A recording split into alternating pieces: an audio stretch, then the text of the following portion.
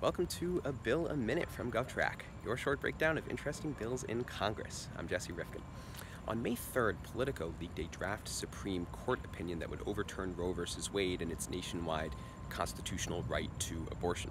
So two days later, on May 5th, law enforcement erected an eight-foot tall fence around the entire perimeter of the Supreme Court building here to protect it against potentially violent, destructive, or disruptive protesters. Now, as it happened, nothing actually happened. There were no violent, destructive, or disruptive protests at or around the Supreme Court building. But just as a precautionary measure, they kept the fence up for just shy of four months for most of the rest of the summer uh, until taking it down on August 29th. That's why you can see there isn't any fencing still here anymore.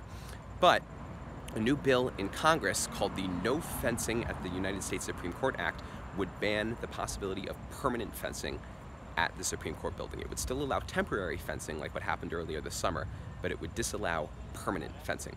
Now, supporters argue that uh, a federal government designed, as Lincoln said, of the people, by the people, and for the people, should remain more accessible to those same, well, people.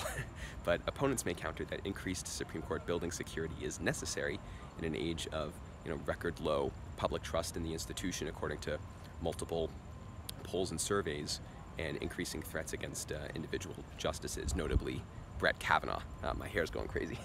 anyway, uh, that's what both supporters and opponents say.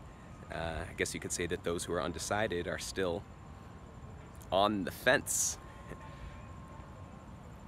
Sorry, I'm being told the Supreme Court just ruled 5 to 4 that on the fence is technically an idiom, not a pun.